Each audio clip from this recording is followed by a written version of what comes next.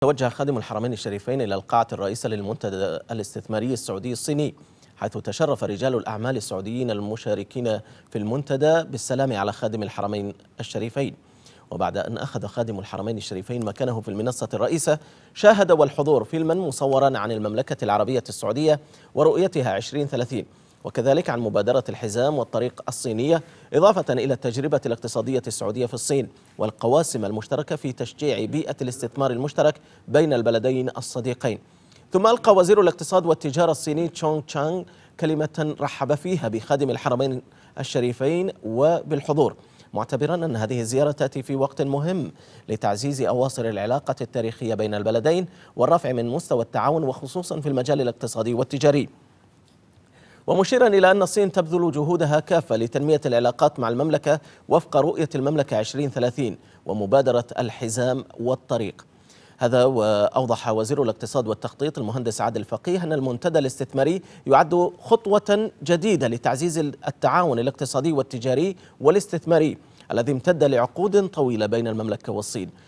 وأضاف فقيه أن العلاقات بين البلدين شهدت خلال الفترة الماضية حراكا كبيرا على كافة المستويات. نتج عنه تشكيل اللجنة السعودية الصينية رفيعة المستوى والتي يرأسها من الجانب السعودي صاحب السمو الملكي الأمير محمد بن سلمان بن عبد العزيز ولي ولي العهد النائب الثاني لرئيس مجلس الوزراء وزير الدفاع رئيس مجلس الشؤون الاقتصادية والتنمية.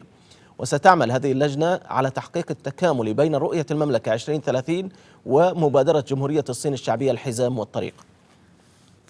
حضر الحفل الحفل والمنتدى صاحب السمو الأمير خالد بن فهد بن خالد وصاحب السمو الملكي الأمير منصور بن سعود بن عبد العزيز وصاحب السمو الملكي الأمير محمد بن فهد بن عبد العزيز وصاحب السمو الملكي الأمير سعود بن فهد بن عبد العزيز وصاحب السمو الملكي الأمير طلال بن سعود بن عبد العزيز وصاحب السمو الملكي الأمير خالد بن بندر بن عبد العزيز مستشار خادم الحرمين الشريفين وصاحب السمو الأمير سعود بن عبد الله بن ثنيان رئيس الهيئة الملكية للجبال وينبع. وصاحب السمو الملكي الأمير سطام بن سعود بن عبد العزيز. وصاحب السمو الأمير الدكتور تركي بن سعود بن محمد رئيس مدينة الملك عبد العزيز للعلوم والتقنية. وصاحب السمو الملكي الأمير فيصل بن خالد بن سلطان بن عبد العزيز المستشار في الديوان الملكي.